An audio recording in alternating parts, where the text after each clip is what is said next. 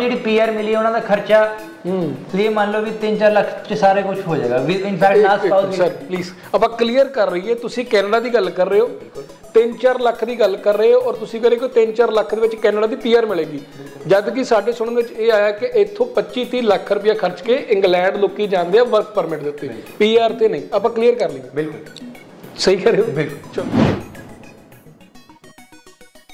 ਪੰਜਾਬ ਦੀ ਨਰਸਿਸ ਜਾਂ ਨਰਸਿਸ ਜਾਂ ਹੈਲਥ ਕੇਅਰ ਪ੍ਰੋਫੈਸ਼ਨਲਸ ਪਿਛਲੇ ਕੁਝ ਸਾਲਾਂ ਤੋਂ ਇਹ ਸੁਣੇ ਹੋਣਗੇ ਵੀ 20-25 ਲੱਖ ਦੇ ਕੇ ਕੈਨੇਡਾ ਜਾਂ ਯੂਕੇ ਵਰਕ ਪਰਮਿਟ ਯੂਕੇ ਵਾਲਾ ਜ਼ਿਆਦਾ ਰੁਝਾਨ ਸੀਗਾ ਜੀ। ਹਾਂ ਵਹੀ ਵਰਕ ਪਰਮਿਟ ਕਰਾ ਦਿਓ। ਤੁਸੀਂ ਇਹ ਮੰਨੋ ਕਿ ਜੋ ਮੈਂ ਕਹਿ ਰਿਹਾ ਕਿ ਜੇ ਨਰਸ ਆ ਜਿਹਨੇ ਗ੍ਰੈਜੂਏਸ਼ਨ ਕੀਤੀ ਹੋਈ ਹੈ ਆਪਣੀ ਫੀਲਡ 'ਚ ਤੇ 6 6.5 ਸਕੋਰ ਦੇ ਵਿੱਚ ਹੈ ਤੇ 3-4 ਸਾਲ ਦਾ ਐਕਸਪੀਰੀਅੰਸ ਹੈ। ਉਹਨੂੰ ਪੀਆਰ ਦੇ ਰਹੀ ਹੈ ਗਵਰਨਮੈਂਟ ਡਾਇਰੈਕਟ ਤਾਂ ਉਹ ਕੈਨੇਡਾ ਦੇ ਵਿੱਚ ਗੱਲ ਕਰ ਰਹੇ ਹੋ।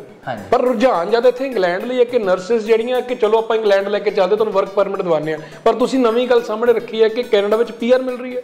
ਐਗਜ਼ੈਕਟਲੀ ਡਾਇਰੈਕਟ ਡਾਇਰੈਕਟ ਤੁਸੀਂ ਜੇ ਕਿਸੇ ਨੇ ਗੂਗਲ ਵੀ ਕਰਨਾ ਤੁਸੀਂ ਪਾ ਕੇ ਦੇ ਸਕਦੇ ਹੋ OINP health professionals PNP latest score ਤਾਂ ਤੁਹਾਨੂੰ ਉੱਥੇ ਆਏਗਾ 350 ਟੂ 462 ਚ ਸਾਡੀ ਐਪਲੀਕੇਸ਼ਨ ਉਹਨਾਂ ਨੇ ਚੈੱਕ ਕੁਝ 1670 ਐਪਲੀਕੇਸ਼ਨ ਉਹਨਾਂ ਨੇ ਪਿਕ ਕੀਤੀਆਂ। ਠੀਕ ਹੈ ਜੀ। ਅਰਾਊਂਡ ਅਬਾਊਟ ਤੇ ਇਹਦਾ ਮਤਲਬ ਇਹ ਹੈ ਕਿ ਉਹਨਾਂ ਨਰਸ ਉਹਨਾਂ ਐਪਲੀਕੇਸ਼ਨਸ ਨੂੰ ਉਹਨਾਂ ਐਪਲੀਕੈਂਟਸ ਨੂੰ ਗਵਰਨਮੈਂਟ ਨੇ ਡਾਇਰੈਕਟ ਪੀਆਰ ਦੀ ਓਪਰਚ्युनिटी ਦਿੱਤੀ ਜਿਹਦੇ ਵਿੱਚ ਓਨਟਾਰੀਓ ਨੇ ਕੁਝ 1500 ਡਾਲਰ ਦੀ ਫੀਸ ਲਈ ਆਪਣੀ ਔਰ ਬਾਕੀ ਜਿਹੜੀ ਗਵਰਨਮੈਂਟ ਆਪਣੀ ਫੀਸ ਲੈਂਦੀ ਹੈ ਔਰ ਨਾਲ ਉਹਦੇ ਸਪਾਊਸ ਨੂੰ ਪੀਆਰ ਮਿਲੇਗੀ ਨਾਲ ਉਹਦੇ ਬੱਚੇ ਨੂੰ ਪੀਆਰ ਮਿਲੇਗੀ। ਐਡ ਕਰਨਾ ਚਾਹੂੰਗਾ ਕਿ ਐਸਡੀਐਸ ਕੈਟਾਗਰੀ ਹੀ ਕੈਨੇਡਾ ਗਵਰਨਮੈਂਟ ਨੇ ਪੀਟੀ ਨੂੰ ਵੀ ਇਨਵੋਲਵ ਕਰ ਦਿੱਤਾ। Okay. ਪੀਟੀ ਵੀ ਓਵਰਆਲ ਉਹਨਾਂ ਨੇ 60 ਸਕੋਰ ਰੱਖ ਦਿੱਤਾ।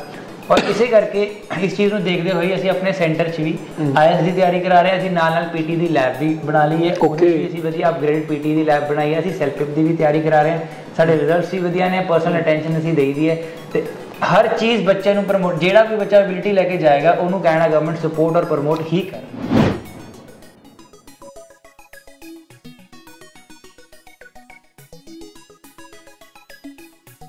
ਜੇ ਗੱਲ ਕਰੀਏ YouTube ਦੀ, Facebook ਤੇ, Insta ਦੀ, ਬਹੁਤ ਸਾਰੀਆਂ ਵੀਡੀਓਜ਼ ਅਜਿਹੀਆਂ ਸਾਹਮਣੇ ਆ ਜਾਂਦੀਆਂ, ਜਿਹੜੀਆਂ ਅੱਜਕੱਲ ਵਾਇਰਲ ਹੋ ਰਹੀਆਂ ਕਿ ਕੈਨੇਡਾ 'ਚ ਤਾਂ ਕੰਮ ਹੈ ਨਹੀਂ। ਮੰਦੀ ਬਹੁਤ ਹੈ ਰਿਸੈਸ਼ਨ ਬਹੁਤ ਆ ਤਿੰਨ ਚਾਰ ਸਾਲ ਕੈਨੇਡਾ ਉੱਠ ਹੀ ਨਹੀਂ ਸਕਦਾ, ਨਾ ਉੱਧਰ ਪਹੁੰਚੋ, ਪੈਸਾ ਆਪਣਾ ਨਾ ਡੁਬੋ। ਮਤਲਬ ਇੰਡੀਆ 'ਚ ਹੀ ਰਹਿ ਕੇ ਕੰਮ ਕਰ ਲਓ। ਵੀਡੀਓ ਪਿੱਛੇ ਵੀ ਵਾਇਰਲ ਹੋਈ ਸੀ ਕਿ ਦੋ ਜਣਿਆਂ ਦੀ ਰਿਕਰੂਟਮੈਂਟ ਸੀਗੀ ਮੈਕਡੋਨਲਡ ਤੇ ਔਰ 700 800 ਬੱਚਾ ਜਿਹੜਾ ਉੱਥੇ ਪਹੁੰਚਿਆ ਹੋਇਆ ਸੀ। ਕੰਮ ਮਿਲ ਜਾਂਦਾ ਹੈ ਕਿ ਨਹੀਂ ਮਿਲਦਾ ਕਿਉਂਕਿ ਤੁਸੀਂ ਬਹੁਤ ਨੇੜੇ ਤੋਂ ਹੋ ਕੇ ਦੇਖਦੇ ਆ।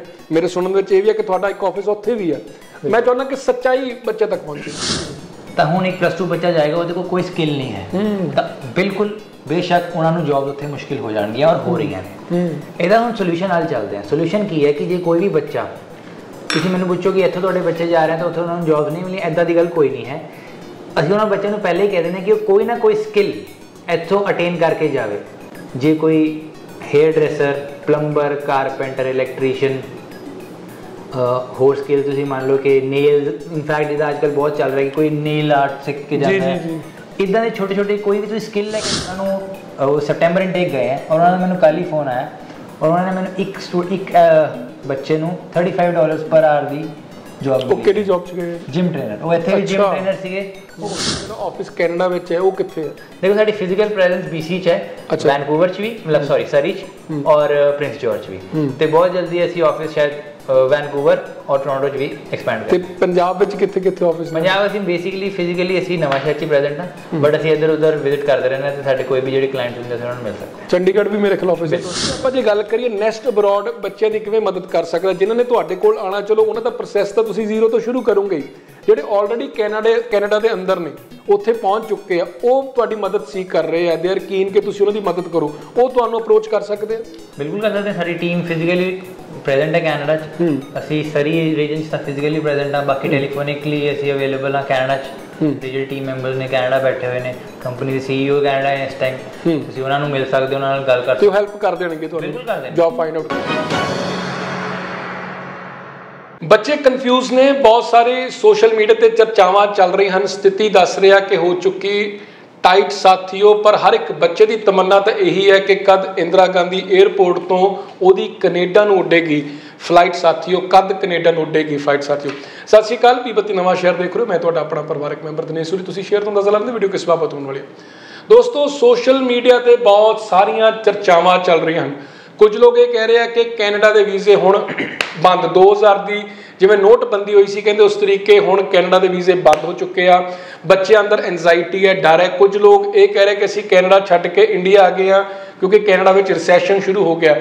ਪਰ ਜਿਹੜੇ ਇੱਥੇ ਬੱਚੇ ਰਹਿ ਰਹੇ, ਜਿਨ੍ਹਾਂ ਦੇ ਸੁਪਨੇ ਆ ਕਿ ਅਸੀਂ ਇੱਕ ਦਿਨ ਕੈਨੇਡਾ ਜਾਣਾ, ਉੱਥੇ ਜਾ ਕੇ ਆਪਣੇ ਫਿਊਚਰ ਨੂੰ ਐਕਸਪਲੋਰ ਕਰਨਾ ਹੈ, ਜ਼ਿੰਦਗੀ ਵਿੱਚ ਕੁਝ ਬਣਨਾ, ਉਹਨਾਂ ਅੰਦਰ ਇੱਕ ਡਰ ਦਾ ਮਾਹੌਲ ਬਣ ਰਿਹਾ। ਪਰ ਉਹਨਾਂ ਦੇ ਜਿਹੜੇ ਡਾਊਟਸ ਆ, ਉਹਨਾਂ ਦੀਆਂ ਜਿਹੜੀਆਂ ਕੁਐਰੀਜ਼ ਆ, ਉਹਨਾਂ ਨੂੰ ਸਾਹਮਣੇ ਰੱਖਣ ਲਈ ਉਹਨਾਂ ਦੇ ਆਨਸਰ ਲੈਣ ਲਈ ਅਸੀਂ ਪਹੁੰਚੇ ਹਾਂ ਜੀ ਨੈਸਟ ਅਬਰੋਡ ਇਮੀਗ੍ਰੇਸ਼ਨ ਵਿਖੇ ਔਰ ਸਾਡੇ ਨਾਲ ਵੀਡੀਓ ਵਿੱਚ ਬਣੇ ਰਹਿਣਗੇ ਦੀਪਾਂਸ਼ ਪੁੱਛਰ ਜੀ ਜੋ ਖੁਦ ਆਰਸੀਆਈਸੀ ਨੇ ਔਰ ਇਹਨਾਂ ਤੋਂ ਸਵਾਲਾਂ ਦੇ ਜਵਾਬ ਲਵਾਂਗੇ। ਬਹੁਤ ਬਹੁਤ ਸਵਾਗਤ ਹੈ ਸਰ ਧੰਨਵਾਦ ਸਰ ਮੈਂ ਜਿਵੇਂ ਜ਼ਿਕਰ ਕੀਤਾ ਹੀ ਹੈ ਕਿ ਇੱਕ ਤਰੀਕੇ ਦੀ ਲੜਾਈ ਦਾ ਮਾਹੌਲ ਬਣਿਆ ਹੋਇਆ ਪੋਲੀਟੀਕਲ ਰੰਜਿਸ਼ ਜਾਂ ਖਹਿਬਾਜ਼ੀ ਕਹਿ ਲਈਏ ਜਿਹੜੇ ਡਿਪਲੋਮੈਟਸ ਨੇ ਕੈਨੇਡਾ ਦੇ ਉਹਨਾਂ ਨੂੰ ਕਿਹਾ ਗਿਆ ਕਿ ਉਹ ਵਾਪਸ ਕੈਨੇਡਾ ਚਲੇ ਜਾਣ।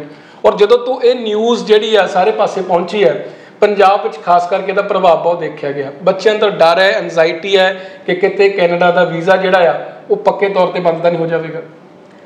ਦੇਖੋ ਸਰ ਕਿ ਰੂਮਰਸ ਨੇ ਜੋ ਕਿ ਮੈਂ ਕਹਿਣਾ ਚਾਹਾਂਗਾ ਸਾਰੇ ਸਰੋਤਿਆਂ ਨੂੰ ਕਿ ਇਹ ਸਾਰੇ ਰੂਮਰਸ ਨੇ ਤੇ ਅਸੀਂ ਪ੍ਰੈਕਟੀਕਲ ਫੈਕਟ ਬੇਸਡ ਗੱਲ ਕਰਦੇ ਹਾਂ ਕਿ ਜਦੋਂ ਜਦੋਂ ਦੀ ਇਹ ਪੋਲੀਟੀਕਲ ਥੋੜੀ ਬਹੁਤ ਟਰਬੂਲੈਂਸ ਆਈ ਵੀ ਹੈ ਉਸ ਤੋਂ ਬਾਅਦ ਵੀ ਜਿਹੜੇ ਵੀ ਅਸੀਂ ਕੈਨੇਡਾ ਦੇ ਵੀਜ਼ਾਸ ਫਾਈਲ ਕਰ ਰਹੇ ਹਾਂ ਚਾਹੇ ਉਹ ਵਿਜ਼ਿਟਰ ਵੀਜ਼ਾ ਦਾ ਸਟੱਡੀ ਵੀਜ਼ਾ ਦਾ ਕੁਝ ਕੋਈ ਡਿਫਰੈਂਸ ਨਹੀਂ ਆਇਆ।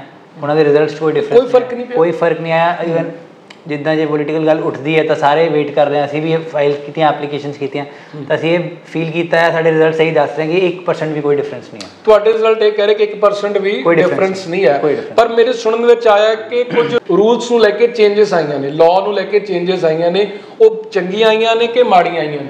ਦੇਖੋ ਉੱਥੇ ਪੀਆਰ ਹੋਣ ਦੇ ਜਿਹੜੇ ਰੂਲਸ ਨੇ ਉਹ ਬੈਂਡ ਹੋ ਰਹੇ ਹੈ ਔਰ ਇਨ ਫੇਵਰ ਆਫ ਇਮੀਗ੍ਰੈਂਟਸ ਹੋ ਰਹੇ ਹੈ। ਓਕੇ ਜਿਹੜੀ ਕਿ ਪੀਆਰ ਥੋੜੀ ਆਸਾਨ ਹੋ ਗਈ ਜਿਹੜਾ ਬੱਚਾ ਉੱਥੇ ਪਹੁੰਚ ਗਿਆ ਜਿੱਦਾਂ ਕਿ ਚਾਹੇ ਉਹ ਕਿਸੇ ਵੀ ਫੀਲਡ ਦਾ ਜਿਹੜੀ ਉਹਨਾਂ ਨੇ ਕੈਨੇਡਾ ਗਵਰਨਮੈਂਟ ਨੇ ਇਮੀਗ੍ਰੇਸ਼ਨ ਫੀਲਡ ਨੂੰ ਥੋੜਾ ਹੋਰ ਰਿਫਾਈਨ ਕੀਤਾ ਜਿਹਦੇ 'ਚ ਉਹਨਾਂ ਨੇ ਇਹ ਦੇਖਿਆ ਕਿ ਜਿਹੜੇ ਫੀਲਡ ਦੇ ਲੋਕ ਉਹਨਾਂ ਨੂੰ ਜ਼ਿਆਦਾ ਚਾਹੀਦੇ ਉਹਨਾਂ ਨੂੰ ਈਜ਼ੀਲੀ ਪੀਆਰ ਦੇ ਰਹੇ ਨਹੀਂ ਫੇਵਰੇਬਲ ਕਿਵੇਂ ਹੋ ਸਕਦੇ ਆ? ਜੀ ਦੇਖੋ ਫੇਵਰੇਬਲ ਇਦਾਂ ਹੈ ਕਿ ਕੁਝ ਸੈਕਟਰਸ ਨੇ ਜਿਹੜੇ ਗਵਰਨਮੈਂਟ ਨੇ ਆਇਡੈਂਟੀਫਾਈ ਕੀਤੇ ਆ ਜਿੱਦਾਂ ਕਿ ਰੀਸੈਂਟਲੀ ਹੈਲਥ ਕੇਅਰ ਪ੍ਰੋਫੈਸ਼ਨਲਸ ਦੀ ਗੱਲ ਕਰੀਏ ਤਾਂ ਸੈਪਟੈਂਬਰ 'ਚ ਉਹਨਾਂ ਨੇ ਹੈਲਥ ਕੇਅਰ ਪ੍ਰੋਫੈਸ਼ਨਲਸ ਨੂੰ 350 ਦੇ ਸੀਆਰਐਸ ਸਕੋਰ ਤੇ ਹੀ ਪੀਐਨਪੀ ਅਪਰੂਵ ਕਰ ਦਿੱਤੀ ਯਾਨੀ ਕਿ ਓਨਟਾਰੀਓ ਨੇ ਜਿਹੜੇ ਹੈਲਥ ਕੇਅਰ ਪ੍ਰੋਫੈਸ਼ਨਲ ਉੱਥੇ ਹੈਗੇ ਆ ਜਿਹੜਾ ਲਾਸਟ 2-3 ਸਾਲਾਂ ਤੋਂ ਸਕੋਰ 460 70 ਤੋਂ ਵੀ ਉੱਪਰ 500 ਤੱਕ ਚਲਾ ਗਿਆ ਸੀ ਉਹ 350 ਤੇ ਉਹਨਾਂ ਨੇ ਨਰਸਿਸ ਔਰ ਹੈਲਥ ਕੇਅਰ ਪ੍ਰੋਫੈਸ਼ਨਲਸ ਨੂੰ ਪੀਆਰ ਦੇ ਦਿੱਤੀ।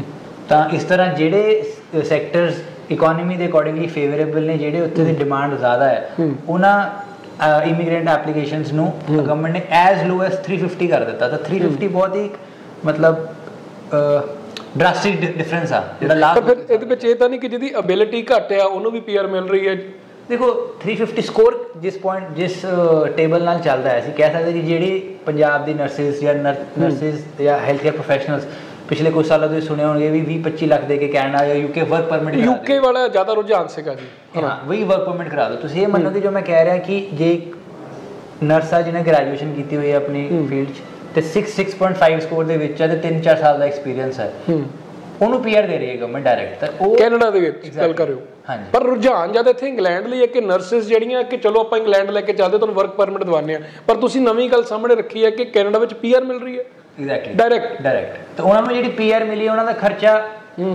ਤੁਸੀਂ ਇਹ ਮੰਨ ਲਓ ਵੀ 3-4 ਲੱਖ ਚ ਸਾਰੇ ਕੁਝ ਹੋ ਜਾਏਗਾ। ਇਨਫੈਕਟ ਨਾ ਸਪਾਊਸ ਸਰ ਪਲੀਜ਼ ਆਪਾਂ ਕਲੀਅਰ ਕਰ ਰਹੀਏ ਤੁਸੀਂ ਕੈਨੇਡਾ ਦੀ ਗੱਲ ਕਰ ਰਹੇ ਹੋ। 3-4 ਲੱਖ ਦੀ ਗੱਲ ਕਰ ਰਹੇ ਹੋ ਔਰ ਤੁਸੀਂ ਕਹ ਰਹੇ ਕਿ 3-4 ਲੱਖ ਦੇ ਵਿੱਚ ਕੈਨੇਡਾ ਦੀ ਪੀਆਰ ਮਿਲੇਗੀ।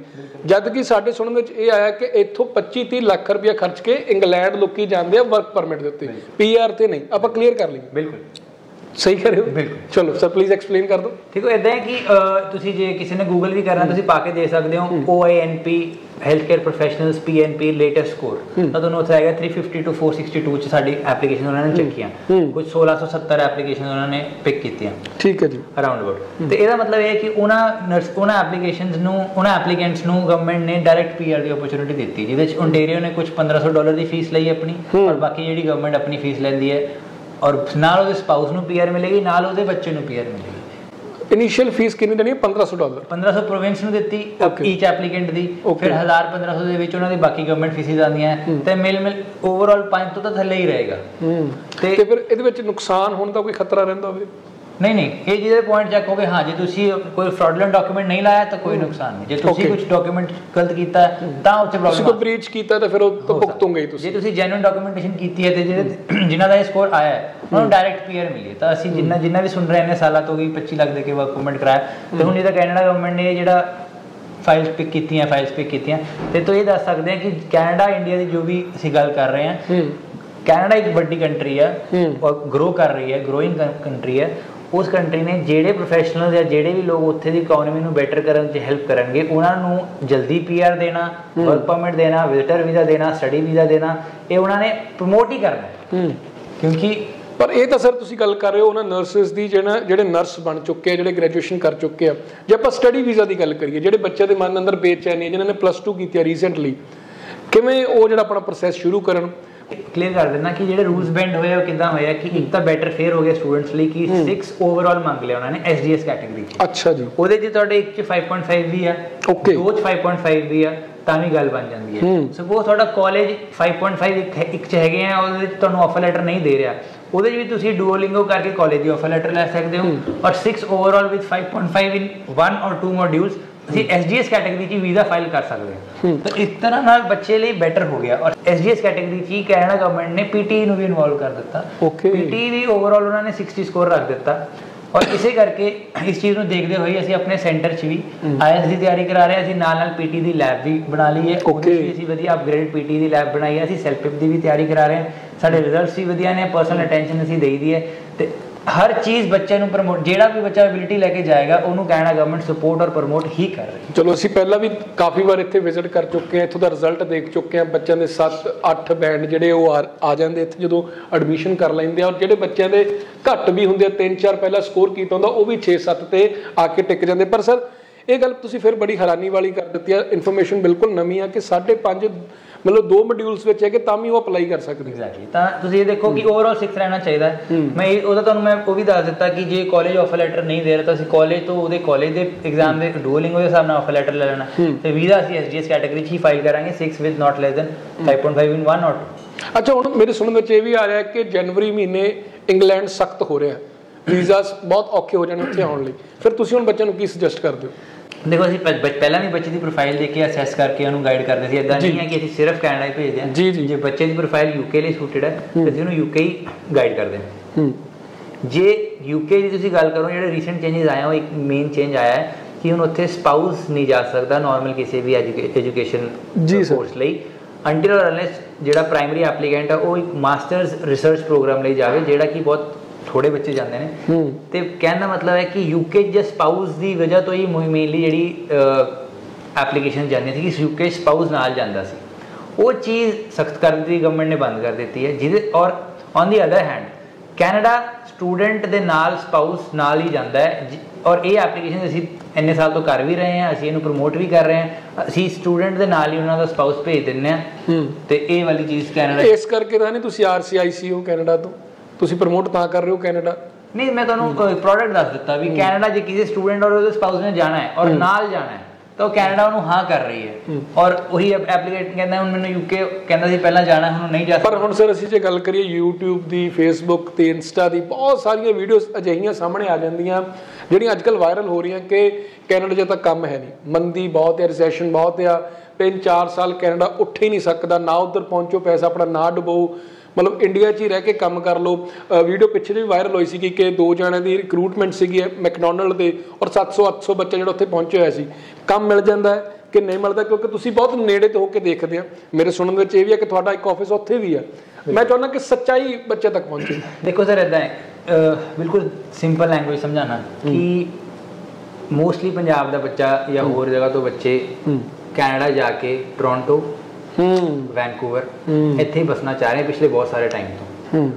ਉਸ ਹੁਣ ਉਸ ਜੀਓਗ੍ਰਾਫਿਕਲੀ ਜੇ ਅਸੀਂ ਗੱਲ ਕਰੀਏ ਤਾਂ ਉਸ ਏਰੀਆ 'ਚ ਜਿੰਨੇ ਬਿਜ਼ਨੈਸਸ ਹੈਗੇ ਆ ਉਹ ਜਿੰਨਿਆਂ ਨੂੰ ਸਪੋਰਟ ਕਰ ਸਕਦੇ ਆ ਹੁਣ ਇੱਕ ਸੈਚੂਰੇਸ਼ਨ ਲੈਵਲ ਤੱਕ ਜਾ ਰਹੀ ਹੈ ਚੀਜ਼। ਬਿਲਕੁਲ। ਜੇ ਤੁਸੀਂ ਕਹੋ ਕਿ ਬੱਚਾ ਇੱਥੋਂ ਪਲੱਸ 2 ਜਾਏਗਾ ਹੁਣ ਤੁਸੀਂ ਆਪ ਹੀ ਕਿਹਾ ਕਿ ਬੱਚੇ ਮੈਕਡੋਨਲਡਸ ਦੇ ਬਾਹਰ ਰਿਕਰੂਟਮੈਂਟ ਲਈ ਗਏ ਸੀ। ਤਾਂ ਹੁਣ ਇੱਕ ਪਲੱਸ 2 ਬੱਚਾ ਜਾਏਗਾ ਉਹਦੇ ਕੋਲ ਕੋਈ ਸਕਿੱਲ ਨਹੀਂ ਹੈ। ਤਾਂ ਬਿਲਕੁਲ ਬੇਸ਼ੱਕ ਉਹਨਾਂ ਨੂੰ ਜੌਬ ਉੱਥੇ ਮੁਸ਼ਕਿਲ ਹੋ ਜਾਣਗੀਆਂ ਔਰ ਹੋ ਰਹੀਆਂ ਨੇ। ਇਹਦਾ ਹੁਣ ਸੋਲੂਸ਼ਨ ਹਾਲ ਚੱਲਦੇ ਆ ਸੋਲੂਸ਼ਨ ਕੀ ਹੈ ਕਿ ਜੇ ਕੋਈ ਵੀ ਬੱਚਾ ਤੁਸੀਂ ਮੈਨੂੰ ਪੁੱਛੋ ਕਿ ਇੱਥੋਂ ਤੁਹਾਡੇ ਬੱਚੇ ਜਾ ਰਹੇ ਤਾਂ ਉੱਥੇ ਉਹਨਾਂ ਨੂੰ ਜੌਬ ਨਹੀਂ ਮਿਲੀ ਐਦਾਂ ਦੀ ਗੱਲ ਕੋਈ ਨਹੀਂ ਹੈ। ਅਸੀਂ ਉਹਨਾਂ ਬੱਚਿਆਂ ਨੂੰ ਪਹਿਲੇ ਹੀ ਕਹਿ ਦਿੰਦੇ ਕਿ ਉਹ ਕੋਈ ਨਾ ਕੋਈ ਸਕਿੱਲ ਇੱਥੋਂ ਅਟੇਨ ਕਰਕੇ ਜਾਵੇ। ਜੇ ਕੋਈ hair dresser plumber carpenter electrician ਹੋਰ ਸਕਿੱਲ ਤੁਸੀਂ ਮੰਨ ਲਓ ਕਿ ਨੇਲਸ ਇਨਫੈਕਟ ਇਹਦਾ ਅੱਜਕੱਲ ਬਹੁਤ ਚੱਲ ਰਿਹਾ ਕਿ ਕੋਈ ਨੇਲ ਆਰਟ ਸਿੱਖ ਕੇ ਜੀ, ਜਾਂਦਾ ਜੀ, ਹੈ। ਜੀ। ਇਦਾਂ ਦੇ ਛੋਟੇ ਛੋਟੇ ਕੋਈ ਵੀ ਤੁਸੀਂ ਸਕਿੱਲ ਲੈ ਕੇ ਜਾਂਦੇ ਹੋ ਜੀ। ਤੁਹਾਨੂੰ ਉੱਥੇ ਜਾ ਕੇ ਕੰਮ ਮਿਲਣਾ ਬਿਲਕੁਲ ਈਜ਼ੀ ਹੈ। ਕੋਈ ਸਪੋਰਟਸ ਟ੍ਰੇਨਰ ਹੈ ਕੋਈ ਜਿਮ ਟ੍ਰੇਨਰ ਹੈ। ਵੈਰੀ ਰੀਸੈਂਟਲੀ ਸਾਡਾ ਸਾਡੇ ਦੋ ਕਲਾਇੰਟ ਗਏ ਹੈ ਇਨਫੈਕਟ ਤਿੰਨ ਗਏ ਹੈ ਦੋ ਦੀ ਗੱਲ ਦੱਸ ਦੇਣਾ ਉਹਨਾਂ ਨੂੰ ਤੁਸੀਂ ਮੰਨੋ ਕਿ ਬੇਸਿਕ ਪੇ 16 17 ਡਾਲਰ ਜਿਹੜਾ ਸਾਰਿਆਂ ਨੂੰ ਪਤਾ ਹੈ। ਉਹਨਾਂ ਨੂੰ ਉਹ ਸੈਪਟੈਂਬਰ ਇਨਟੇਕ ਗਏ ਹੈ ਔਰ ਉਹਨਾਂ ਦਾ ਮੈਨੂੰ ਕੱਲ ਹੀ ਫੋਨ ਆਇਆ ਔਰ ਉਹਨਾਂ ਨੇ ਮੈਨੂੰ ਇੱਕ ਇੱਕ ਬੱਚੇ ਨੂੰ 35 ਡਾਲਰਸ ਪਰ ਆਰ ਦੀ ਜੌਬ ਉਹ ਕਿਹੜੀ ਜੌਬ 'ਚ ਗਏ? ਜਿਮ ਟ੍ਰੇਨਰ ਉਹ ਇੱਥੇ ਵੀ ਜਿਮ। ਟ੍ਰੇਨਰ ਸੀਗੇ ਉਹ ਗ੍ਰੈਜੂਏਸ਼ਨ ਕਰਨ ਗਏ ਹੂੰ। ਤੇ ਉਹਨਾਂ ਨੇ ਡਿਗਰੀ ਲਈ ਹੈ 4 ਸਾਲ ਦੀ ਬਟ ਉਹਨਾਂ ਨੇ ਨਾਲ ਐਜ਼ ਅ ਜਿਮ ਟ੍ਰੇਨਰ ਉਹਨੂੰ 35 ਡਾਲਰਸ ਇੰਡੀਵਿਜੂਅਲ ਕਲਾਸ ਦੇ ਤੇ ਉਹਨਾਂ ਦਾ ਕੋਈ ਗੈਪ ਵੀ ਸੀਗਾ? ਬਿਲਕੁਲ ਸੀਗਾ। ਅੱਛਾ। 8 ਸਾਲ ਦਾ ਗੈਪ ਸੀਗਾ। 8-7 ਸਾਲ ਦੇ ਗੈਪ ਦੀ ਗੱਲ ਕਰ ਰਹੇ ਹਾਂਜੀ ਉਹਨਾਂ ਬੱਚਿਆਂ ਦੀ ਉਮਰ ਹੈਗੀ ਹੈ 27 ਸੇ 28 ਸਾਲ। ਉਹ ਪਲੱਸ 2 ਪਾਸ ਨੇ। ਹੁਣ ਗ੍ਰੈਜੂਏਸ਼ਨ ਡਿਗਰੀ 'ਚ ਗਏ ਨੇ। ਬਟ ਹਾਊ ਕਮ ਵੀਜ਼ਾ ਕਿਵੇਂ ਆ ਗਿਆ? ਪਲੱਸ 2 ਤੋਂ ਬਾਅਦ 8-7 ਸਾਲ ਦਾ ਗੈਪ ਫਿਰ ਹੈ ਇੱਥੇ ਉਹ 6-6 7 ਸਾਲ ਤੋਂ ਐਜ਼ ਅ ਜਿਮ ਟ੍ਰੇਨਰ ਕੰਮ ਕਰ ਰਹੇ ਸਪੋਰਟਰ ਤੋਂ ਸ਼ੁਰੂ ਕੀਤਾ ਸੀ। ਸਪੋਰਟਰ ਤੋਂ ਸ਼ੁਰੂ ਕੀਤਾ ਫਿਰ ਜਿਮ 'ਚ ਟ੍ਰੇਨਰ ਲੱਗੇ ਫਿਰ ਪੀਟੀਸ ਦਿੱਤੀਆਂ ਉਹ ਸਾਰੇ ਟੈਸਟੀਮੋਨੀਅਲ ਅਸੀਂ ਨਾਲ ਲਾਇਆ ਉਹਨਾਂ ਨੇ ਆਪਣੇ ਪਰ ਆਪਾਂ ਤਾਂ ਬੜੀ ਵਾਰ ਸੁਣਦੇ ਹਾਂ ਕਿ 2 ਸਾਲ ਦਾ ਵੀ ਗੈਪ ਹੋ ਗਿਆ ਕੈਨੇਡਾ ਜਿਹੜਾ ਨਹੀਂ ਲੈਂਦਾ ਬੱਚੇ ਨੂੰ। ਤੁਸੀਂ ਸਰ, ਕਹਿ ਰਹੇ ਹੋ ਕਿ ਅਸੀਂ- 7-8 ਸਾਲ ਬਿਲਕੁਲ ਸਰ ਅਸੀਂ ਬਹੁਤ ਪਹਿਲਾਂ ਤੋਂ ਕਹਿੰਦੇ ਆਏ ਹਾਂ। ਕਿ ਡਿਗਰੀ ਕੋਰਸਸ ਜਾਂ ਮਾਸਟਰਸ ਕੋਰਸਸ ਉਹਨਾਂ 'ਚ ਜੇ ਤੁਹਾਡਾ ਗੈਪ ਜਸਟੀਫਾਈਡ ਆ ਐਜੂਕੇਸ਼ਨ ਗੈਪ ਵੈਲਿਡ ਰੀਜ਼ਨ ਹੈ ਵੈਲਿਡ ਰੀਜ਼ਨ ਆ। ਤੁਸੀਂ ਬੱਚਾ ਪਲੱਸ 2 ਬਾਅਦ ਨਿਕਲਿਆ ਔਰ ਉਸ ਤੋਂ ਬਾਅਦ ਉਹਨੇ ਛੋਟਾ ਜਿਹਾ ਡਿਪਲੋਮਾ ਕੀਤਾ ਫਿਟਨੈਸ ਦਾ ਉਸ ਤੋਂ ਬਾਅਦ ਉਹ ਜਿਮ 'ਚ ਟ੍ਰੇਨਰ ਲੱਗ ਗਿਆ। ਉਹ ਆਪਣੇ ਲਈ ਆਪਣੀ ਸੈਲਰੀ ਕੱਢ ਰਿਹਾ ਚਾਹੇ ਉਹ ਐਜ਼ ਲੋ ਐਜ਼ 30000 ਪਰ ਮੰਥ ਹੀ ਹੈ। ਉਹ ਬੜਾ ਲਗਾਤਾਰ ਲੱਗਿਆ 30 ਤੋਂ ਲੈ ਕੇ ਉਹ 60 70000 ਤੱਕ ਪਹੁੰਚ ਗਏ ਇੱਥੇ। ਤਾਂ ਵਿਦ ਟਾਈਮ ਜਦੋਂ ਉਹਨਾਂ ਜਦੋਂ ਉਹਨਾਂ ਕੋਲ ਪੈਸੇ ਹੋਏ ਉਹਨਾਂ ਕੋਲ ਆਰਥਿਕ ਸਥਿਤੀ ਉਹਨਾਂ ਦੀ ਵਧੀਆ ਵੀ ਤਾਂ ਉਹਨਾਂ ਨੇ ਕੈਨੇਡਾ ਐਜੂਕੇਸ਼ਨ ਲਈ ਜੇ ਜਾਣਾ ਚਾਹਿਆ ਤਾਂ ਅਸੀਂ ਗੈਪ ਪ੍ਰੋਪਰ ਜਸਟੀਫਾਈ ਅਸੀਂ ਵੀ ਕੀ ਜਸਟੀਫਾਈ ਕੀਤਾ? ਉਹਨਾਂ ਦਾ ਜਸਟੀਫਾਈਡ ਹੀ ਸੀ। ਤਾਂ ਉੱਥੇ ਜਾ ਕੇ ਮੈਂ ਉਹਨਾਂ ਨੂੰ ਤੁਸੀਂ ਅਰੇਂਜ ਕੀਤਾ ਉਹਨੂੰ ਸੀਕੁਐਂਸ ਕੀ ਦਿੱਤਾ ਅਸੀਂ ਸਿਰਫ ਅਪਲਾਈ ਕੀਤਾ ਸੀ ਉਹ ਸਿਰਫ ਇਸ ਉਸ ਚੀਜ਼ ਨੂੰ ਸਮਝਾਇਆ ਕਿ ਇੱਥੋਂ ਉੱਥੇ ਵੀ ਉਹ ਫਿਟਨੈਸ ਰਿਲੇਟਡ ਹੀ ਕੋਰਸ ਚ ਗਏ ਨੇ। ਤੁਸੀਂ ਇਹ ਦੇਖੋ ਨਾ ਫਿਰ ਉਹ ਬੱਚੇ ਮੈਕਡੋਨਲਡ ਜਾ ਕੇ ਜੌਬ ਨਹੀਂ ਲੱਭ ਰਹੇ। ਉਹ ਆਪਣੇ ਸਕਿੱਲ ਤੇ ਜੌਬ ਲੱਭ ਉਹਦੀ ਰਹੇ। ਪ੍ਰੋਫਾਈਲ ਦੇ ਹਿਸਾਬ ਨਾਲ। ਉਹ ਬੱਚੇ ਦੀ ਉਮਰ 27 ਸਾਲ ਹੈ ਬੱਚੇ ਦੀ ਐਜੂਕੇਸ਼ਨ ਕੁਆਲੀਫਿਕੇਸ਼ਨ ਪਲੱਸ 2 ਹੈ। 8 ਸਾਲ ਤੋਂ 10 ਸਾਲ ਤੋਂ ਉਹਨੇ ਕੁਝ ਨਹੀਂ ਕੀਤਾ। ਪਰ ਸਰ ਇਹ ਗੱਲ ਪੱਕੀ ਹੈ ਕਿ 35 ਡਾਲਰ ਉਹਨਾਂ ਨੂੰ ਪਰ ਆਰ। ਮਿਲ ਰਿਹਾ ਹੈ। ਬਿਲਕੁਲ ਤੁਹਾਡੇ- ਕੱਲ ਨੂੰ ਚੈੱਕ ਕਰਨਾ ਚਾਹਵੇ। ਬਿਲਕੁਲ ਜਾਵੇ ਤੁਸੀਂ ਕਹੋ ਬੱਚਾ ਸਾਡੇ ਕੋਲ ਆਵੇ ਉਹਨਾਂ ਦਾ ਨੰਬਰ ਦੇ ਸਕਦੇ ਹਾਂ। ਕਿ ਫਲਾਨੀ ਇਹ ਸਿਟੀ ਹੈ ਇਹ ਉਹਨਾਂ ਦਾ ਮਤਲਬ ਐਡਰੈਸ ਹੀ ਹੈ। ਪਰਸਨਲ ਡਿਟੇਲ ਸ਼ੇਅਰ ਕਰਨ ਤੋਂ ਪਹਿਲਾਂ ਅਸੀਂ ਬੱਚਿਆਂ ਨਾਲ ਸ਼ੇਅਰ ਕਰ ਸਕਦੇ ਹਾਂ ਆਪਣੇ ਟੈਸਟੀਮੋਨੀ ਨੈਸਟ ਅਬਰੋਡ ਦਾ ਜਿਹੜਾ ਆਫਿਸ ਕੈਨੇਡਾ ਵਿੱਚ ਹੈ ਉਹ ਕਿੱਥੇ ਹੈ? ਦੇਖੋ ਸਾਡੀ ਫਿਜ਼ੀਕਲ ਪ੍ਰੈਜ਼ੈਂਸ BC ਚ ਹੈ। ਵੈਨਕੂਵਰ ਚ ਵੀ ਮਤਲਬ ਸੌਰੀ ਸਰੀ ਚ ਔਰ ਪ੍ਰਿੰਸ ਜਾਰਜ ਵੀ। ਤੇ ਬਹੁਤ ਜਲਦੀ ਅਸੀਂ ਆਫਿਸ ਸ਼ਾਇਦ ਵੈਨਕੂਵਰ ਔਰ ਟੋਰਾਂਟੋ ਚ ਵੀ ਐਕਸਪੈਂਡ ਤੇ ਕਰਾਂਗੇ ਪੰਜਾਬ ਵਿੱਚ ਕਿੱਥੇ ਕਿੱਥੇ ਆਫਿਸ ਨੇ? ਪੰਜਾਬ ਅਸੀਂ ਬੇਸਿਕਲੀ ਫਿਜ਼ੀਕਲੀ ਅਸੀਂ ਨਵਾਂ ਸ਼ਹਿਰ ਚ ਪ੍ਰੈਜ਼ੈਂਟ ਹਾਂ ਬਟ ਅਸੀਂ ਇੱਧਰ ਉੱਧਰ ਵਿਜ਼ਿਟ ਕਰਦੇ ਰਹਿੰਦੇ ਤੇ ਸਾਡੇ ਕੋਈ ਵੀ ਜਿਹੜੇ ਕਲਾਇੰਟਸ ਹੁੰਦੇ ਉਹਨਾਂ ਨੂੰ ਮਿਲ ਸਕਦੇ ਚੰਡੀਗੜ੍ਹ ਵੀ ਮੇਰੇ ਖਿਆਲ ਆਫਿਸ ਹੈ ਤੁਹਾਡਾ। ਚੰਡੀਗੜ੍ਹ ਆਫਿਸ ਨਹੀਂ ਹੈਗਾ ਫਿਜ਼ੀਕਲ ਪ੍ਰੈਜ਼ੈਂਸ ਹੈਗੀ ਹੈ। ਜੇ ਕਿਸੇ ਕਲਾਇੰਟ ਨੂੰ ਮਿਲਣਾ ਹੋਵੇ ਤਾਂ ਅਸੀਂ ਮਿਲ ਸਕਦੇ ਹਾਂ। ਚੰਡੀਗੜ੍ਹ ਸਾਡੇ ਨਾਲ ਏਜੰਟ ਨਾਲ ਸਾਡਾ ਜ਼ਰੂਰ ਟਾਈ ਅਪ ਹੈ। ਉੱਥੇ ਸਾਡਾ ਆਫਿਸ ਨਾਲ ਉਹਨਾਂ ਦਾ ਸਾਡਾ ਇੱਕ ਬਿਜ਼ਨਸ ਕੋਲੈਬੋਰੇਸ਼ਨ ਹੈਗੀ ਹੈ। ਚਲੋ ਤੁਸੀਂ ਸੋਲੂਸ਼ਨ ਇਹ ਦੱਸ ਰਹੇ ਹੋ ਕਿ ਇੱਥੋਂ ਆਪਾਂ ਸਿਰਫ ਪਲੱਸ 2 ਕਰਕੇ ਅਗਰ ਕੋਈ ਗੁਣ ਨਹੀਂ ਸਿੱਖ ਕੇ ਜਾਂਦੇ, ਕੋਈ ਸਕਿੱਲ ਨਹੀਂ ਸਿੱਖ ਕੇ ਜਾਂਦੇ ਤਾਂ ਮੁਸ਼ਕਿਲ ਆਉਂਦੀ ਹੈ। ਔਰ ਇਹਨਾਂ ਦਾ ਰੀਜ਼ਨ ਮੈਨੂੰ ਬੜਾ ਵੈਲਿਡ ਲੱਗਿਆ। ਉਹ ਕਹਿੰਦੇ ਕਿ ਹੁਣ ਪਲੱਸ 2 ਕਰਕੇ ਅਸੀਂ ਸਿਰਫ ਚਾਹੁੰਦੇ ਇਹੀ ਆ ਕਿ ਮੈਕਡੋਨਲਡ ਤੇ ਕੈਸ਼ ਕਾਊਂਟਰ ਤੇ ਲੱਗ ਜਾਈਏ। ਫਿਰ ਤਾਂ ਹੋੜ ਲੱਗਣੀ ਹੀ ਲੱਗਣੀ ਹੈ, ਫਿਰ ਤਾਂ ਰਸ਼ ਪੈਣਾ ਹੀ ਪੈਣਾ ਔਰ ਜਿਵੇਂ ਇਹਨੇ ਦੱਸਿਆ ਕਿ 7-8 ਸਾਲ ਦਾ ਗੈਪ ਸੀ ਪਲੱਸ 2 ਤੋਂ ਬਾਅਦ ਉਹਨਾਂ ਦੀ ਫਾਈਲ ਨੂੰ ਤਿਆਰ ਕੀਤਾ ਅਰੇਂਜ ਕੀਤਾ ਔਰ ਜਦੋਂ ਉਹ ਕੈਨੇਡਾ ਪਹੁੰਚ ਗਏ, ਉਹਨਾਂ ਨੂੰ ਅਜਿਹੀ ਜੌਬ ਮਿਲੀ ਹੈ ਜਿੱਥੇ 1 ਘੰਟੇ ਦੇ ਉਹਨਾਂ ਨੂੰ 35 ਡਾਲਰ ਮਿਲ ਰਹੇ ਆ। ਤਾਂ ਆਪਾਂ ਨੂੰ ਗੱਲ, ਆਪਾਂ ਗੱਲ ਨੂੰ ਸਮਝੀਏ ਕਨਫਿਊਜ਼ਨ ਜਿਹੜਾ ਉਹਨੂੰ ਸਮਝੀਏ ਕਿ ਉਹਦਾ ਸੋਲੂਸ਼ਨ ਕੀ ਹੈ? ਸੋਲੂਸ਼ਨ ਇਹ ਹੈ ਕਿ ਅਗਰ ਤੁਸੀਂ ਇੱਥੋਂ ਮਿਹਨਤ ਕਰਕੇ ਜਾਂਦੇ ਹੋ, ਆਪਣੀ ਪ੍ਰੋਫਾਈਲ ਦੇ ਹਿਸਾਬ ਨਾਲ ਜੌਬ ਲੱਭਦੇ ਹੋ, ਤਾਂ ਫਿਰ ਜਿਹੜੀ ਮੰਜ਼ਿਲ ਉਹ ਤੁਹਾਨੂੰ ਜ਼ਰੂਰ ਮਿਲਦੀ ਹੈ। ਸਰ ਹੋਰ ਕਿਹੜੀਆਂ ਕਿਹੜੀਆਂ ਦਿੱਕਤਾਂ ਉੱਥੇ ਆਉਂਦੀਆਂ ਜਿਹੜੀਆਂ ਬੱਚਿਆਂ ਨੂੰ ਕਾਮਨਲੀ ਜਿਹਨੂੰ ਬੱਚਾ ਇੱਥੋਂ ਇਗਨੋਰ ਕਰਕੇ ਚਲੇ ਜਾਂਦਾ? ਬਸ ਇਹ ਹੁੰਦਾ ਕਿ ਭੇਡ ਚੱਲ, ਜੇ ਕੋਈ ਹੋਰ ਮੈਕਡੋਨਲਡ ਲੱਗਾ ਮੈਂ ਵੀ ਮੈਕਡੋਨਲਡ ਦੇ ਕੰਮ ਕਰਨਾ ਕੋਈ ਊਬਰ ਕਰੇ ਮੈਂ ਵੀ ਊਬਰ ਕਰਨਾ ਹੈ। ਸਰ ਬਸ ਇਹੀ ਇਹ ਇਹ ਮੇਨ ਚੀਜ਼ ਹੈ ਸਮਝਣ ਦੀ ਬਹੁਤ ਲੋੜ ਹੈ ਬੱਚਿਆਂ ਨੂੰ ਕਿ ਸਕਿਲਡ ਔਰ ਅਨਸਕਿਲਡ ਜੇ ਤੁਸੀਂ ਜਾਓਗੇ ਤਾਂ ਡਿਫਰੈਂਸ ਤਾਂ ਆਊਗਾ ਹੀ। ਹੁਣ ਜੇ ਇੱਕ ਜਗ੍ਹਾ ਤੁਸੀਂ ਘਰ ਬਣਾਉਣਾ ਅਸੀਂ ਕੰਸਟਰਕਸ਼ਨ ਕਰਨੀ ਹੈ ਸਾਨੂੰ ਉਨਾ ਹੀ ਹੱਥ ਦੀ ਲੇਬਰ ਦੀ ਲੋੜ ਹੈ। ਤਾਂ ਇਹ ਚੀਜ਼ ਨੂੰ ਸਮਝੋ ਕਿ ਸਕਿੱਲ ਵਾਲ ਨੂੰ ਜਾਓ ਕੋਈ ਵੀ ਸਕਿੱਲ ਫੜੋ ਚਾਹੇ ਉਹ ਸਕਿੱਲ ਜ਼ਰੂਰੀ ਨਹੀਂ ਮਤਲਬ ਜੇ ਕੋਈ ਲੜਕੀਆਂ ਇੱਥੇ ਬਹੁਤ yoga trainer pilates trainer Zumba trainer ਇਹ ਸਭ ਕਰ ਸਕਦੇ ਆ ਨੇਲ ਆਰਟ ਸਿੱਖਦੀਆਂ ਲੜਕ- ਕਰਦੇ ਨੇ ਜਿਮ ਟ੍ਰੇਨਰ ਬਣਦੇ ਆਪ ਤੇ ਹੁਣ ਵੀ ਆਪਾਂ ਜੇ ਗੱਲ ਕਰੀਏ ਨੈਸਟ ਅਬਰੋਡ ਬੱਚਿਆਂ ਦੀ ਕਿਵੇਂ ਮਦਦ ਕਰ ਸਕਦਾ ਜਿਨ੍ਹਾਂ ਨੇ ਤੁਹਾਡੇ ਕੋਲ ਆਣਾ ਚਲੋ ਉਹਨਾਂ ਦਾ ਪ੍ਰੋਸੈਸ ਤਾਂ ਤੁਸੀਂ ਜ਼ੀਰੋ ਤੋਂ ਸ਼ੁਰੂ ਕਰੋਗੇ। ਜਿਹੜੇ ਆਲਰੇਡੀ ਕੈਨੇਡਾ ਕੈਨੇਡਾ ਦੇ ਅੰਦਰ ਨੇ ਉੱਥੇ ਪਹੁੰਚ ਚੁੱਕੇ ਆ ਉਹ ਤੁਹਾਡੀ ਮਦਦ ਸੀ ਕਰ ਰਹੇ ਆ ਦੇ ਆਰ ਕੀਨ ਕਿ ਤੁਸੀਂ ਉਹਨਾਂ ਦੀ ਮਦਦ ਕਰੋ। ਉਹ ਤੁਹਾਨੂੰ ਅਪਰੋਚ ਕਰ ਸਕਦੇ ਆ? ਬਿਲਕੁਲ ਕਰ ਸਕਦੇ ਸਾਡੀ ਟੀਮ ਫਿਜ਼ੀਕਲੀ ਪ੍ਰੈਜ਼ੈਂਟ ਹੈ ਕੈਨੇਡਾ 'ਚ। ਅਸੀਂ ਸਰੀ ਰੀਜਨ 'ਚ ਤਾਂ ਫਿਜ਼ੀਕਲੀ ਪ੍ਰੈਜ਼ੈਂਟ ਹਾਂ ਬਾਕੀ ਟੈਲੀਫੋਨਿਕਲੀ ਅਸੀਂ ਅਵੇਲੇਬਲ ਹਾਂ ਕੈਨੇਡਾ 'ਚ। ਜਿਹੜੇ ਟੀਮ ਮੈਂਬਰਸ ਨੇ ਕੈਨੇਡਾ ਬੈਠੇ ਹੋਏ ਨੇ ਕੰਪਨੀ ਦੇ ਸੀਈਓ ਕੈਨੇਡਾ ਹੈ ਇਸ ਟਾਈਮ ਤੁਸੀਂ ਉਹਨਾਂ ਨੂੰ ਮਿਲ ਸਕਦੇ ਹੋ ਉਹਨਾਂ ਨਾਲ ਗੱਲ ਕਰ ਤੇ ਉਹ ਹੈਲਪ ਕਰ ਦੇਣਗੇ ਬਿਲਕੁਲ ਕਰ ਤੁਹਾਨੂੰ ਦੇਣਗੇ। ਜੌਬ ਫਾਈਂਡ ਆਊਟ ਬਿਲਕੁਲ ਜੌਬ ਫਾਈਂਡ ਆਊਟ ਕਰਨ ਹੈ। ਮੈਂ ਰੀਸੈਂਟਲੀ ਇੱਕ ਬੱਚਾ ਗਿਆ ਹੈ ਮਾਸ ਗ੍ਰੈਜੂਏਸ਼ਨ ਤੋਂ ਬਾਅਦ ਮਾਸਟਰਸ ਕੋਰਸ ਗਿਆ ਹੈ। ਉਹਨੂੰ ਇੱਕ ਸੇਲਸ ਐਗਜ਼ੀਕਟਿਵ ਦੀ ਜੌਬ ਲੱਗੀ ਹੈ ਲੇਕਿਨ ਉਹ ਜੌਬ ਕਾਫੀ ਵਧੀਆ ਲੱਗੀ ਹੈ ਲਾਈਕ 2500 ਡਾਲਰ ਦੀ ਉਹਦੀ। ਇੰਟਰਨਸ਼ਿਪ ਉਹਨੂੰ ਮਿਲ ਰਹੇ ਆ ਉਹ 3000 ਪਲੱਸ ਵੀ ਹੋ ਜਾਣਗੇ ਜਦ ਉਹਨੂੰ ਕੰਮ ਆ ਜਾਏਗਾ। ਜਿਹੜਾ ਕਿ ਉਸ ਫੀਲਡ ਬੱਚਾ ਸ਼ਾਰਪ ਸੀ ਉਹਨੂੰ ਉਸ ਫੀਲਡ ਦਾ ਜ਼ਿਆਦਾ ਐਕਸਪੀਰੀਅੰਸ ਨਹੀਂ ਵੀ ਸੀ ਫਿਰ ਵੀ ਉਹਨੂੰ ਜੌਬ ਕ੍ਰੈਕ ਹੋ ਗਈ। ਤੇ ਜਿਹੜੀ ਨਰਸਸ ਦੀ ਗੱਲ ਕਰਦੇ ਆ ਆਪਾਂ ਉਹ ਇਨਟੇਕ ਕਦੋਂ ਸ਼ੁਰੂ ਹੋ ਜਾਣਾ ਤੇ ਕਦੋਂ ਆ ਕੇ ਤੁਹਾਨੂੰ ਮਿਲ ਸਕਦੇ ਆ ਔਰ ਕਦੋਂ ਤੱਕ ਜਿਹੜਾ ਅਪਲਾਈ ਕਰ ਸਕਦੇ ਆ? ਦੇਖੋ ਇਹ ਕੈਂਡੀਡੇਟ ਪੀਆਰ ਦੀ ਅਸੀਂ ਗੱਲ ਕਰਦੇ ਹਾਂ ਇਹਦੇ ਆਪਣਾ ਇੱਕ ਪ੍ਰੋਸੀਜਰ ਹੈ ਜਿਹਦੇ ਵਿੱਚ ਤੁਸੀਂ 6C ਚ ਆਇਲਸ ਚ ਸਕੋਰ ਕਰ ਲੈਂਦੇ ਹੋ ਮਿਨੀਮਮ ਗ੍ਰੈਜੂਏਟ ਹੋ। ਤੇ ਤੁਹਾਡੇ ਕੋਲ 2-4 ਸਾਲ ਦਾ ਐਕਸਪੀਰੀਅੰਸ ਹੈਗਾ ਇੰਡੀਆ 'ਚ। ਤਾਂ ਤੁਹਾਡੀ ਅਸੀਂ ਫਾਈਲ ਪੁੱਟ ਕਰ ਦਿੰਦੇ ਹਾਂ ਅਸੀਂ ਪੂਲ 'ਚ। ਉਸ ਤੋਂ ਬਾਅਦ ਜਦ ਵੀ ਗਵਰਨਮੈਂਟ ਦਾ ਮਨ ਹੁੰਦਾ ਜਿਸ ਵੀ ਪ੍ਰੋਵਿੰਸ ਦਾ ਮਨ ਹੁੰਦਾ ਉਹ ਆਪਣੇ ਅਕੋਰਡਿੰਗਲੀ ਜਿਹੜੀ ਵੀ ਉਹਨਾਂ ਰਿਕੁਆਇਰਮੈਂਟਸ ਹੁੰਦੀਆਂ ਉਹਦੇ ਅਕੋਰਡਿੰਗਲੀ ਐਪਲੀਕੇਸ਼ਨ ਨੂੰ ਪਿਕ ਕਰਦੀਆਂ ਜਿਹਦੇ 'ਚ ਹੈਲਪ ਤੁਸੀਂ ਕੀ ਕਰ ਕੀ ਕਹਿ ਸਕਦੇ ਹਾਂ ਕਿ ਕਮਿੰਗ ਸੂਨ ਅਸੀਂ ਹਰ ਪ੍ਰੋਵਿੰਸ ਤੇ ਵੀਡੀਓ ਲੈ ਕੇ ਆਵਾਂਗੇ। ਜੇ ਇਸ ਸੀਰੀਜ਼ ਚ ਕੀ ਉਹਨਾਂ ਪ੍ਰੋਵਿੰਸ ਚ ਕੀ ਜੌਬ ਸਿਨੈਰੀਓਸ ਚੱਲ ਰਹੇ ਹੈ ਕਿੱਦਾਂ ਉੱਥੇ ਪੀਆਰ ਹੋ ਸਕਦੀ ਹੈ ਉੱਥੇ ਜੌਬ ਮਾਰਕੀਟ ਕੀ ਕਹਿ ਰਹੀ ਹੈ ਕਿਹੜੀ ਸਕਿੱਲ ਸਿੱਖ ਕੇ ਜਾਓ ਕਿੱਦਾਂ ਤੁਹਾਡੀ ਪੀਆਰ ਈਜ਼ੀਲੀ ਹੋਏਗੀ ਕਿਤੇ ਤੁਸੀਂ ਮਤਲਬ ਕਿਸ ਕਹਿ ਸਕਦੇ ਹੋ ਵੀ ਕਿਸ ਇਨਕਮ ਬ੍ਰੈਕਟ ਤੁਸੀਂ ਜਾਣਾ ਚਾਹੁੰਦੇ ਹੋ ਤੁਸੀਂ ਕੀ ਕਿੰਨੇ ਕੁ ਪੈਸੇ ਕਿੱਦਾਂ ਕਮਾਉਣਾ ਚਾਹੁੰਦੇ ਹੋ ਇਹ ਸਾਰਾ ਕੁਝ ਅਸੀਂ ਕਮਿੰਗ ਸੀਰੀਜ਼ ਲੈ ਕੇ ਆਵਾਂਗੇ। ਤੋ ਪਾਂਚ ਜੀ ਇੱਕ ਲਾਸਟ ਸਵਾਲ ਮੈਂ ਲੈਣਾ ਚਾਹਾਂ ਚਾਹਾਂਗਾ ਕਿ ਜਦੋਂ ਆਪਾਂ ਨੈਕਸਟ ਵੀਡੀਓ ਕਰਨੀ ਆ ਹੁਣ ਆਪਾਂ ਇੱਕ ਸੀਰੀਜ਼ ਤਾਂ ਤਿਆਰ ਕਰ ਰਹੇ ਆ ਕਿਸ ਪ੍ਰੋਵਿੰਸ ਨੂੰ ਆਪਾਂ ਡਿਸਕਸ ਕਰਨ ਜਾ ਰਹੇ ਹਾਂ ਤਾਂ ਜੋ ਜਿਹੜੇ ਸਾਡੇ ਵੀਰ ਭੈਣ ਭਰਾ ਵੀਡੀਓ ਦੇਖ ਰਹੇ ਆ ਉਹਨਾਂ ਦੀ ਜਿਹੜੀ ਕੁਐਰੀਜ਼ ਆ ਉਹ ਮੈਸੇਂਜਰ ਤੇ ਕਮੈਂਟ ਦੇ ਥਰੂ ਸਾਡੇ ਤੱਕ ਪਹੁੰਚਾ ਦੇਣ। ਦੇਖੋ ਇਹੀ ਹੈ ਸਾਡਾ ਮੇਨ ਜਿਹੜਾ ਚੈਲੰਜ ਹੈ ਕਿ ਅਸੀਂ ਬੱਚਿਆਂ ਨੂੰ ਇਸ ਕਾਉਂਸਲ ਕਰ ਪਾਈਏ ਗਾਈਡ ਕਰ ਪਾਈਏ ਕਿ ਉਹਨਾਂ ਦੀ ਪ੍ਰੋਫਾਈਲ ਦੇ ਅਕੋਰਡਿੰਗਲੀ ਅਸੀਂ ਉਹਨਾਂ ਨੂੰ ਕਿਹੜੀ ਪ੍ਰੋਵਿੰਸ 'ਚ ਜਾਣਾ ਉਹਨਾਂ ਲਈ ਬੈਟਰ ਰਹੇਗਾ ਉੱਥੇ ਕਿਹੜੇ ਕਾਲਜ 'ਚ ਕਿਹੜਾ ਕੋਰਸ ਲੈਣਾ ਬੈਟਰ ਰਹੇਗਾ ਕਿਉਂਕਿ ਸਿਰਫ ਸਾਰੀ ਭੇਡ ਚਾਲ ਇੱਕ ਪ੍ਰੋਵਿੰਸ ਦੋ ਪ੍ਰੋਵਿੰਸ 'ਚ ਜਾਈ ਜਾਣਗੀਆਂ ਹਾਂ। ਉਹੀ ਕੋਰਸ ਲੱਭੀ ਜਾਣਗੀਆਂ ਤਾਂ ਨਾ ਉਹਨਾਂ ਦਾ ਕੋਈ ਬੈਨੀਫਿਟ ਹੋਏਗਾ ਨਾ ਉਹ ਕੰਟਰੀ ਨੂੰ ਗਰੋ ਕਰ ਪਾਣਗੀਆਂ ਇਕਨੋਮੀ 'ਚ ਕੋਈ ਆਪਣਾ ਯੋਗਦਾਨ ਨਹੀਂ ਕਰ ਸਕਦੀਆਂ। ਤਾਂ ਅਸੀਂ ਵੀਡੀਓਜ਼ 'ਚ ਇਹੀ ਸ਼ੇਅਰ ਕਰਾਂਗੇ ਕਿ ਹਰ ਪ੍ਰੋਵਿੰਸ 'ਚ ਕੀ ਕਾਲਜਸ ਵਧੀਆ ਨੇ ਉਸ ਪ੍ਰੋਫਾਈਲ ਦੇ ਅਕੋਰਡਿੰਗਲੀ ਕੋਰਸਿਸ ਕੀ ਨੇ ਜੌਬ ਮਾਰਕੀਟ ਕੀ ਚੱਲ ਰਹੀ ਹੈ ਕਿਹੜੀ ਪ੍ਰੋਵਿੰਸ 'ਚ ਪੀਆਰ ਈਜ਼ੀਲੀ ਹੋਏਗੀ, ਕਰ- ਉਸ ਪ੍ਰੋਫਾਈਲ ਨੂੰ ਦੇਖਦੇ ਹੋਏ, ਤਾਂ ਕੱਲੀ ਕੱਲੀ ਪ੍ਰੋਵਿੰਸ ਚੱਕਾਂਗੇ। ਉਸ ਪ੍ਰੋਵਿੰਸ 'ਚ ਕਿਹਦੀ ਪ੍ਰੋਫਾਈਲ ਫਿੱਟ ਹੁੰਦੀ ਹੈ, ਉਹ ਦੇਖ ਕੇ ਬੱਚਿਆਂ ਨੂੰ ਬਹੁਤ ਜ਼ਿਆਦਾ ਨੌਲੇਜ ਮਿਲੇਗੀ ਤੇ ਇਸ ਤਰ੍ਹਾਂ ਅਸੀਂ ਉਹਨਾਂ ਦੀ ਜਿਹੜੀ ਕਾਉਂਸਲਿੰਗ ਆ, ਉਹ ਹੋਰ ਬੈਟਰ ਕਰ ਸਕਦੇ ਜੀ। ਤਾਂ ਹੁਣ ਹਰ ਵੀਕ ਹਰ ਹਫ਼ਤੇ ਇੱਕ ਵਾਰੀ ਜ਼ਰੂਰ ਅਸੀਂ ਤੇ ਪਾਂਚ ਜੀ ਦੇ ਨਾਲ ਗੱਲਬਾਤ ਕਰਾਂਗੇ। ਤੁਹਾਡੇ ਜਿਹੜੇ ਸਵਾਲ ਆ ਉਹਨਾਂ ਦਾ ਜਵਾਬ ਸਰ ਤੋਂ ਲਵਾਂਗੇ ਔਰ ਮੈਨੂੰ ਉਮੀਦ ਹੈ ਸਰ ਬਹੁਤ ਸਰਲ, ਸੱਚਾ ਤੇ ਸਪਸ਼ਟ ਜਵਾਬ ਦੇਣਗੇ। ਸਾਨੂੰ ਤੁਹਾਡੇ ਸਵਾਲਾਂ ਦਾ ਇੰਤਜ਼ਾਰ ਰਹੇਗਾ ਔਰ ਤੁਸੀਂ ਸਾਡੀ ਵੀਡੀਓ ਦਾ ਵੀ ਇੰਤਜ਼ਾਰ ਕਰਨਾ, ਪਰ ਜੇ ਇੰਤਜ਼ਾਰ ਨਹੀਂ ਹੋ ਰਿਹਾ, ਤੁਹਾਨੂੰ ਕਾਲੀ ਹੈ, ਤਾਂ ਤੁਸੀਂ ਨਵਾਂ ਸ਼ਹਿਰ ਰਾਹੋਂ ਰੋਡ ਤੇ ਨੈਸਟ ਅਬਰੋਡ ਵਿਖੇ ਆ ਕੇ ਦੀਪਾਜ ਜੀ ਨਾਲ ਗੱਲਬਾਤ ਕਰ ਸਕਦੇ ਹੋ, ਰੋਹਿਤ ਜੀ ਨਾਲ ਗੱਲਬਾਤ ਕਰ ਸਕਦੇ ਹੋ, ਇਹਨਾਂ ਦੀ ਟੀਮ ਨਾਲ ਗੱਲਬਾਤ ਕਰ ਸਕਦੇ ਹੋ। ਇਹ ਜ਼ਰੂਰ ਤੁਹਾਨੂੰ ਸਹੀ, ਸੱਚਾ ਸੁਜੈਸ਼ਨ ਦੇਣਗੇ। ਦੀਪਾਜ ਜੀ, ਸਮਾਂ ਕੱਢਿਆ, ਬਹੁਤ ਮਿਹਰਬਾਨੀ। ਬੜੇ ਰਹਿਣਾ ਵੀ ਪਤੀ ਨਵਾਂ ਸ਼ਹਿਰ ਨਾਲ ਆਪਣੀ ਛੋਟੀ ਜਿਹੀ ਦਿਨੇ ਸੂਰੀ ਕੈਮਰਾ ਪਰਸਨ ਵਿਜੇ ਕੁਮਾਰ ਦੀ ਇਜਾਜ਼ਤ ਬਹੁਤ ਜਲਦ ਫਿਰ ਤੋਂ ਹਾਜ਼ਰ